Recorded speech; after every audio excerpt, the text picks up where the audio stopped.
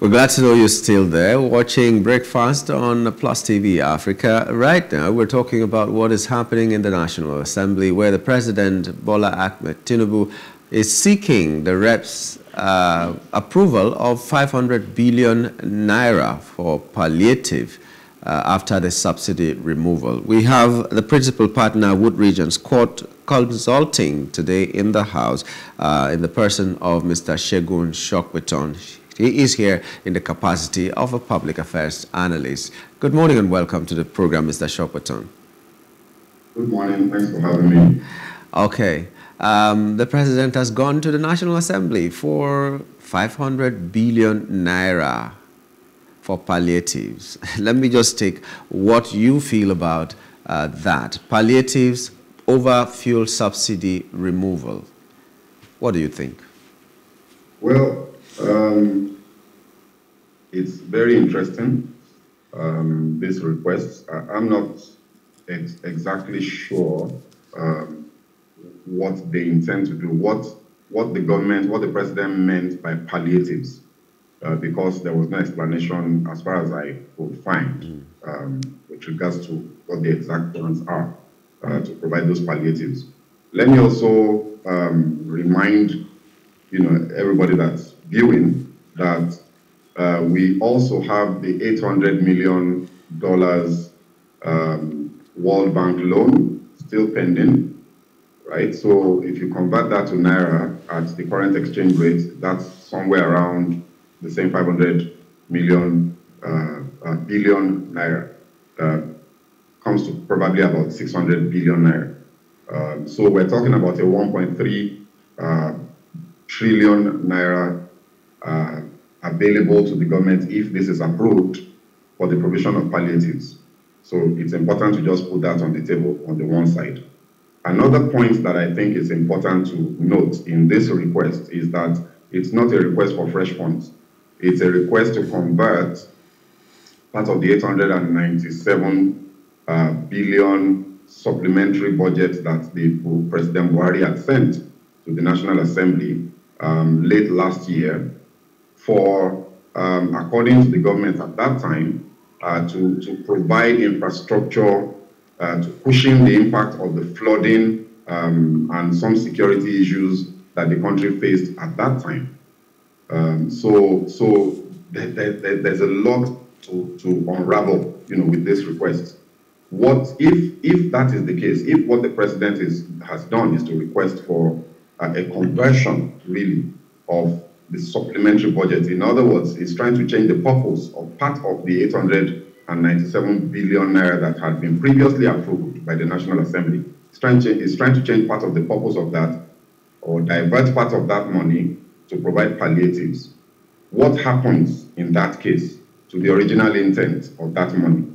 You know, so is it that there was no need at that time? One, how come even though that money had been approved as at that time, um, uh, disbursement obviously hasn't happened. Otherwise, the president wouldn't be asking now for some of that to be converted to, to, to, to be used for palliatives, which means that some of that money, that money has not been used for the purpose it was approved for in the first place. Why? You know, so there are a lot of questions to ask with regards to all of this. However, having said all of that, um, 1.3 trillion naira as palliatives cumulatively um, will barely scratch the surface of the impact that the subsidy removal would have on the most vulnerable people in Nigeria and the people that that subsidy was helping to be an active players in the Nigerian economy. You know, so um, I think it's important for us to ask questions with regards to what exactly uh, these funds will be deployed to and how quickly that deployment will happen, how quickly these funds will impact um, the, the, the spending or purchasing power of the average Nigerian, such that you can then say that it would have the desired um, effect on overall economic well-being of the country. Uh, well, another question you didn't ask uh, from what you were asking, when it will be given and all that, is how often will this be given? Because I was looking at, uh, I made some kind of calculation. Um, if, when you say 500 billion naira, divide that by 120 million people. I'm not removing anybody in Nigeria and saying you are the rich person, it shouldn't come to you and all that. I'm talking about Nigeria as a whole. 120 million people dividing uh, five, 500 billion naira would be like only 4,000 4, something. 4,666 naira or so uh, that everybody will get. So how often will this be given to for it to be called a palliative? Because if I, am given 4,666 uh, naira as I'm sitting here, it wouldn't take me to work for two days. So how often will this be given? Is it is this is the palliative for four years? Is it for one year? Will they be giving it every month? And if they're giving it every month, what's the difference between that money they will be spending and the fuel um, subsidy money that they were spending or that they could have been spending now that they know the data of the fuel that we consume? Let's say we were spending like 500, that 500 billion per month in fuel subsidy and now we know that because we were only financing or getting this fuel for other countries as well, we now have a good data about the, the fuel that we are consuming in Nigeria. That means maybe we can be spending like 100 billion instead of 500 billion anymore. So what will that what difference will that bring to us? How often will they be giving us this palliative and all that? And having asked that, because you are not in government, you cannot answer that. Let me ask you personally, are you even comfortable knowing the antecedents of governments, successive governments about palliative? At least the, the nearest one, the, the most recent one is the COVID-19 palliative. With all that experience, are you even comfortable with the word palliative making the life of Nigerians better? Well, okay, so taking everything that you said into context, I think it's also important to note that the government had, when the $800 million World Bank loan came into the public conversation, uh, into the public space, the government had said that this was going to be used for conditional cash transfers. So you are not far off the mark if you assume that now that the president is talking of the 500 billion palliative approval, that he is speaking about conditional cash transfers as well. But it's important to know that he didn't say so. Mm. Um, the, the, the, purpose has not been declared. To take that analysis further, what the analysis you just gave now, look, if you were, and I said this at that time, 800 million US dollars into Naira, even at today's rate, would come to around 600 uh, billion uh, Naira divide that amongst the vulnerable, or even if you limit that to, according to the government, the 50 million uh, most vulnerable in their uh, uh, uh, most vulnerable household register, um, you will still arrive at a figure that will be um, very small compared to the issues that those houses or those individuals are facing. Mm. And it would only be useful for just one month. So if you assume that you are given 500 billion naira um, as palliatives and you're going to use that for conditional cash transfers, it would only suffice for one month, at best two.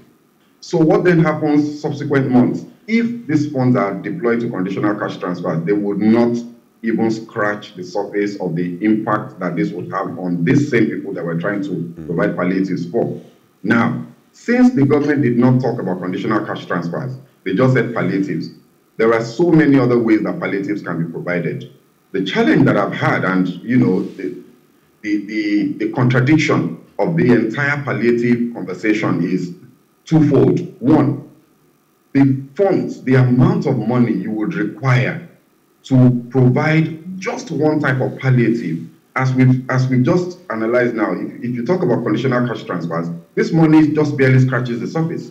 If you talk about using um, providing palliatives, for example, um, in the in the in the area of transportation, which is which is one of the areas where the impact of the subsidy removal will be most felt in the immediate.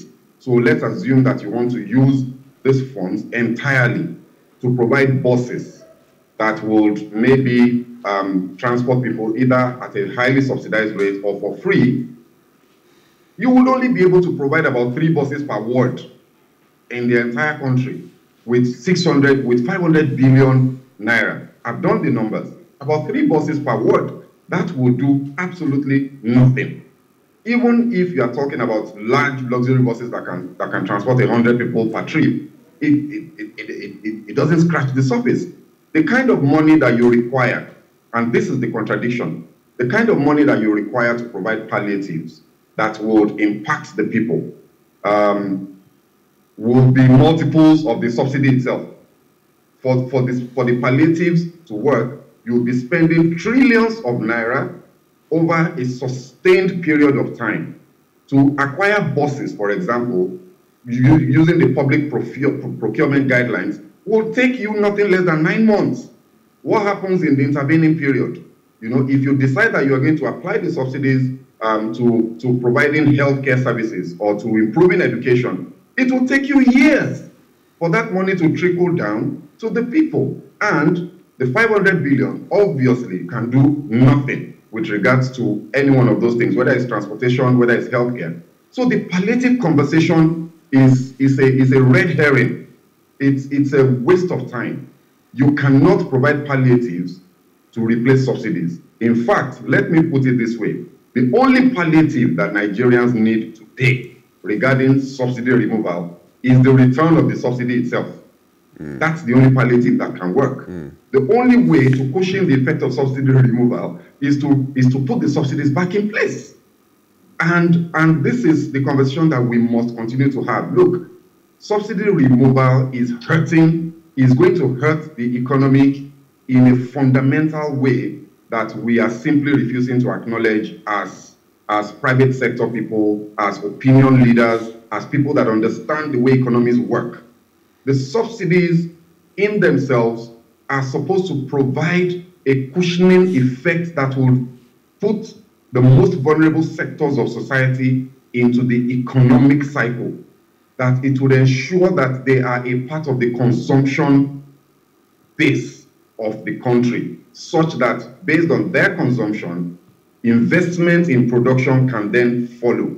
And then economic activity and economic growth would happen. You take those subsidies out, you kill off the, the, the economic value of your large population and therefore you, you constrain the capacity of your economy to grow at the rate that we need to be growing at. People must recognize this and stop talking about the damage the subsidies are doing from the fiscal budgeting side. That is only one side of the equation, and it's, in my opinion, the least impactful side of the, of the equation. Um, six trillion naira in subsidies per annum comes to about 30% of your entire budget uh, volume. So it sounds bad. But there are other things that we need to talk about. For example, the size of that budget itself. Why are government revenues only trending in the region of 10 to 12 trillion naira a year? We know that Nigeria has the capacity to generate far more than that in multiples if loopholes and, and leakages are plugged. Those are the conditions we need to have, not the removal of the subsidy. You take that subsidy away, yes, you save some money in terms of the budget, but the application of that money in the first instance, you can't even guarantee it. And then the impact of that application in terms of driving economic growth will take a, an, an, a, a ridiculously long time to happen. Subsidy removal is not the answer. And I think it's important for the president and the government to recognize this. The answer to our fiscal problems is fixing leakages in our revenue profile, is fixing wastage in government. But, but they will argue that, it will be argued that uh, that is part of fixing of the leakages because money was going to things that maybe were not really as they were projected to be. So that is plugging that uh, leakages, uh, the, the holes. Yeah, but so if that argument comes up, what do you say? I agree. And but the question is, what quantum of the subsidy um, figure, the monthly or annual subsidy figure, is going into real subsidies? Is actually impacting the lives of the people. what quantum of that is going into people's pockets because they are phantom subsidies? That is the task that government must be bold enough to take on and deal with. So we all know that there is a good chunk of the subsidy figure that is just it's it's corruption. Mm. People are simply eating that money in quotes to use our local balance. Yeah. Right? So what quantum of that represents graft? Fix it, stop it. And you, you don't you don't decapitate because you have headache now. It's a Yoruba proverb. Eh? You don't decapitate your head because you have headache. You take Panadol or some other whatever you know analgesic you want to use. So what we need, what the government has done is to decapitate itself, is to decapitate this specific intervention rather than finding out the elements of it that is driven with corruption and taking it out of the way right? So for me, the argument that subsidy removal is a plugging of one of those leakages is not a complete argument. It's only a part of the subsidy that is a leakage, and you should fix that part, not take the subsidies away entirely. And before I, you know, before I stop on that point, uh, Yangul, it's important to note, and like I've been saying, and I, and I think I've seen a number of other public commentators say this repeatedly, it's important to note that even the most, the biggest capitalist nations in the world for example, the United States, for example, the United Kingdom, the EU, excuse me, sir, every single one of these countries have subsidies in various areas of their economy. It's not even just energy or, or petroleum. They subsidize food, they subsidize production, they subsidize health, healthcare, right? So the argument of taking subsidies away simply fly in the face of reason and logic. This is not the answer, it's not the solution. The solution is to fix graft is to fix the leakages and is to reduce the cost of governance. That is the conversation we must continue to push into the public domain until it sinks in. I know that people um, have been told these things for so long that they've come to accept it as a fait accompli, but it's not true. So we need to continue to repeat these things again until we reprogram our minds to recognize that the subsidy is not the problem. The problem is graft, the problem is wastage. So let's fix the graft part of the subsidy and leave the subsidy, the, the rest of the subsidy to, to do the job that subsidies do all over the world, which is to boost consumption. Okay, uh, well, um, this is where we will have to cut this uh, today. When we were talking about buses, and I was just imagining if the buses come to the wards, let's say two buses per ward, uh, who is going to be fueling these buses? If it is still the government that will fuel the buses, then what is the difference? And then I was just thinking, what is the definition of misappropriation? You budget money for a particular thing, and then you want to use it for another thing, no matter how important that thing may be. That is what the definition of misappropriation is. People have suffered during the flood. People are suffering because of insecurity, and you want to take that and you do palliative that we do not even know what it's going to take, what shape it's going to take. And is that not misappropriation, or do you waive that word because it's the president that is doing it? Well, there are questions that we need to answer. Like you have said, the solution may not be the removal of fuel subsidy, but looking inward to see how graft could be curbed and every other thing that is making us spend unnecessarily, like uh, the cost of governance as well. Thank you so much, Mr. Shokweton, for coming on the show this morning. Always a pleasure. Have a nice day. You too. We've been talking with Mr. Shokweton, a principal partner, Woodridge and Scott Consulting. We'll take a break. When we return, we'll treat another topic, but we will be looking at the weather now to see what is happening. Stay with us.